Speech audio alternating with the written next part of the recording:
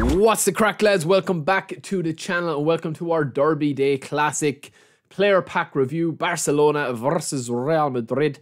We are going to be doing Real Madrid first and then we will get to Barcelona in a separate video because I want to go in depth. A lot of people asking me to go in depth on maybe two of the players in here. There are two standout players per pack, I would say that Fati and Araujo are probably the best picks in the Barca pack.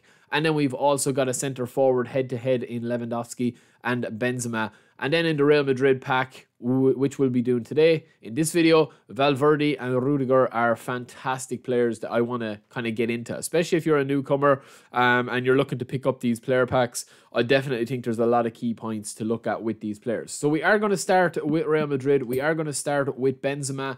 He goes to a 96 overall. He's got excellent stats. He's got excellent player skills and wavering form. Pretty much everything you could possibly want apart from speed, he has. So I think that he's a good centre forward. Um, but to be honest, with the way that the online is at the moment, I don't think that he's going to be somebody that you really use, especially because he is a deep line forward. So I am working on a video per uh, play style for every player. You can see there under Benzema's name. If you are a newcomer, there's a lot of new people playing the game. You can see there in the pink writing that his play style is how he actually acts on the pitch with his AI. So Benzema is a deep line forward. Um, so that obviously changes up his card and how we'll train him, right? So we're over here on eFootball DB. We've kind of maxed out every stat that we possibly want. I think the key for me here is because of him being a deep line forward. I want him to be, you know, very offensive and really good finishing. I think 88 in the finishing is quite decent. I think for a centre forward that is not that fast, I think it's pretty much, you know, if you can't score with an 88 rating there and you're going to get the boost sometimes when he's on form as well, up to maybe 90, I think that 90 or 88, anything above 88 is going to be enough, excuse me, to finish with. We've also got the tight possession and ball control that are 87 and 84 for ball control and tight possession, which is quite decent. We've also pumped in a bit into his passing as well. Because he doesn't have one touch pass in his player skills here, we do want to get that one touch pass style going even without that player skill, which means we have to boost up his passing to at least a 78. So we've just rounded it up to 79. And then the rest of his stats, I mean, are pretty average. I think with the way the gameplay is, I don't think that you're going to be playing Benzema um, if you want to be, you know, winning a lot of games because he will miss chances and there are better options than him here. Now, this card is actually very, very similar um, to his standard card. Like, if you look at his standard card, he literally is just minus one in all of the attack stats, which is, you know, barely anything because he's got an extra level to go. And he's also got minus three in heading. So realistically, lads, right, if you were to train up the standard version of Benzema, you're going to get a card that is identical to this card here. So that you know, do with that what you would like. Obviously, you will need an extra point or two to put into team playstyle. These players here with the El Clasico pack are, are set at 90 with the team playstyle, so you don't need to worry about making them fit with your squad or manager. But the standard version of Benzema is pretty much identical to this, especially with the player skills and all that. So that's just something to keep in mind if you are thinking of spinning for Benzema. You don't really need to, in my opinion. That's just me. Uh, I don't think you need to spin spin if you are looking for this version of Benzema. Next up, we have got uh, Valverde, who is probably my favorite player of the pack and one of my favorite players to use in the game. Now, I have multiple versions of this guy. He's insane, man. He's insane. I know that there is a couple of better players than him there that kind of like come to the fore sometimes, and I like uh I don't like coming up against Valverde. Um, you know, but you do have a couple of similar players like Goretzka. You have a couple of similar players like Barella, and a couple of guys that can do a lot on the pitch, and you can train him up in multiple ways, right? So Valverde actually has 26 levels to go. He's got every player skill that you could want: long range shooting, long range curler, acrobatic finishing for a centre mid is is very very important if you're getting into the box with corners and you know volleys and interceptions. But then defensively, he's also got interception of fighting spirit, and then you know passing, he's got one touch passing, true passing. So the only thing he's really missing here is a couple of dribbling skills, which you don't really need because his dribbling stats go fairly high, right? So this is how we've trained up one version of Valverde. He goes to a 96 overall, insane player skills as we mentioned there. And then he literally has every stat that you could possibly want 85 or over, right?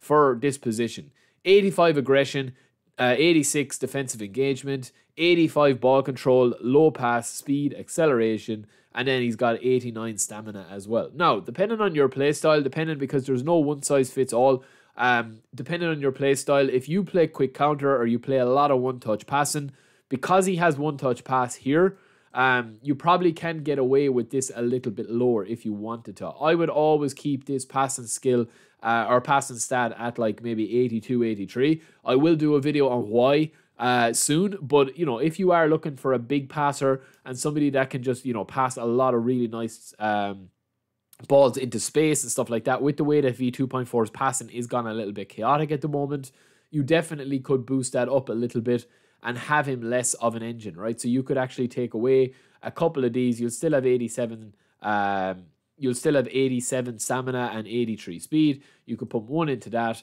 and then obviously you could put one into aerial strength. You'll still get your 96 overall.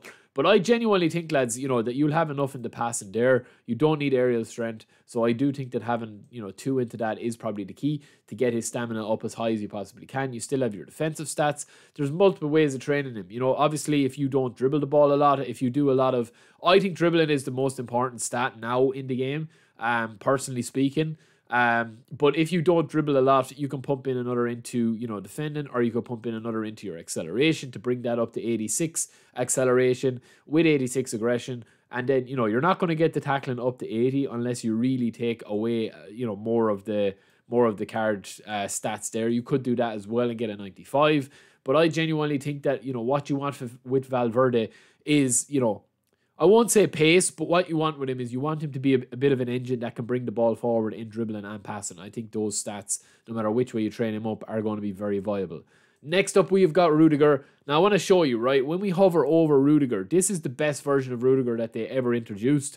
And I think that this version of him that they have here, this one, the Classico pack is probably better, lads. It's probably better, right? Now, if we take a look at the Germany pack here, this Germany pack is slightly better with stats that aren't really matter that don't really matter that much. Um, he's got plus three acceleration but minus three tackling, so it's kind of it's kind of one of the other. It's six of one and a half dozen of the other. There's no real difference. There's been multiple versions of Rudy, and all of these cards seem to be extremely similar, right? So when we look at this card, he's got 81 tackling and 84 aggression. The nominating contract one has 78 tackling and 84 aggression. The Germany pack one is 78 tackling and 87 aggression.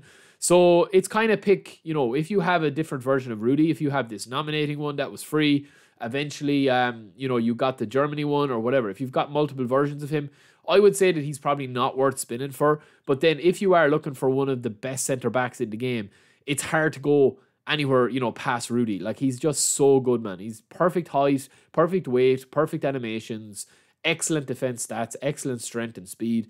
And as you can see here, when we train him up, you are going to get an absolute monster at the back, right? He's a destroyer play style as well. He's got everything that you could possibly want, apart from blocker with the playing skills, and his form is unwavering. So I definitely think him and Valverde are the two picks of the team pack. Um, with this one, I genuinely think they're absolute monsters. There's my official my official, my actual ultimate training guide with him 93 tackle and 96 aggression, 87 defensive awareness, and then you've got 78 speed with 86 jump and also 72 acceleration, which is more than enough. You don't need acceleration for the defenders now with the way that the game is playing. And then last but not least, we don't need to spend too long on Rodrigo because we're mostly looking at Rodrigo as a super sub, right? He's on C form this week, which is a bit of a pity. You're not going to get the full, you know, um, the full bonus of him but yeah, he goes up to a 93 overall, which is the same as the player of the week version here. Now he go he does go slightly higher than that, um, obviously, but I think that this is the best version of him. You got 91 dribbling, 91 acceleration, 88 balance, 88 speed, 86 ball control and tight possession, and then you've got 75 finishing and 72 curl. That's all you really need for a cut in right winger. Um, you know, he's got everything that you could possibly want. True pass and first time shot. He doesn't have one touch pass, which is a small bit of a pity, but I do think that everything else is is is on point with this guy. So yeah, that is it for me, lads. We will have him uh, compared to Ansu Fati in the next episode with this, where we'll be taking a look at the Barcelona pack. But off, until next time, lads, I will be back quite soon. That is it for the Real Madrid pack here. And uh, any questions, get in touch in the comments below. Don't forget to subscribe and I'll be back later, lads, with some more videos. Peace.